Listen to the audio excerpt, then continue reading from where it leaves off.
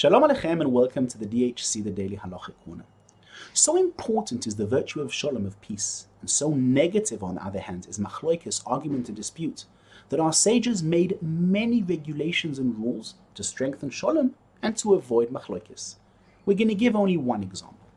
The Gemara in Tractate Shabbos on page 23, second side says that if a person has now come to the Shabbos and he has a very minimal amount of money, he can either buy a candle to light his house or wine to make the special blessing when he greets the Shabbat. Says the Gemara, in such a case, he must prefer to buy a candle and not to buy wine. Why? Says the Gemara because of Shlom Beito. Rashi explains that means because in those times the candles were used to light up the house. If he will not buy a candle, his family will sit in the dark. If they sit in the dark, they'll become upset. They might bash into each other.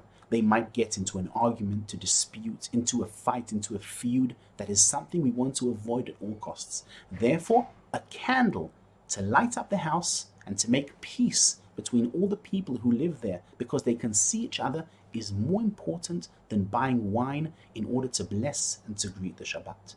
So important is shalom, peace, and so negative is machloikis, argument or dispute.